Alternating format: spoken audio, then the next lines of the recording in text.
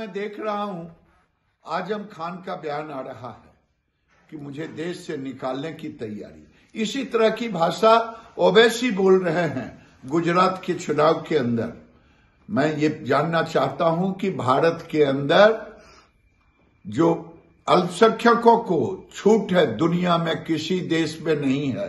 फिर भी भारत को बदनाम करने के लिए आज़म खान शरीके के लोग, ओवैसी शरीके के लोग भारत को एक कह रहे हैं कि मुझे देश से बाहर निकाला जाएगा कब? सीए कानून, नागरिकता कानून में जिस ढंग से तांडव मचाया, लेकिन न ओवैसी की ज़ुबान खुली, न केजरीवाल की ज़ुबान खुली, न कांग्रेसी की ज़ुबान खुली, और न आज़म खान की ज़ुबान खुली। इन लोगों की ज़ुबान तब खुलती है जब बाटला हाउस जैसे कांड में आतंकवादियों टुकड़े टुकड़े गैंग जेएनयू में अफजल तेरे कातिल जिंदे हैं, ऐसे नार, मैं शर्मिंदित हूँ, ऐसे नारे लगाने का जब आता है, तब ये भारत में, भारत को बदनाम करता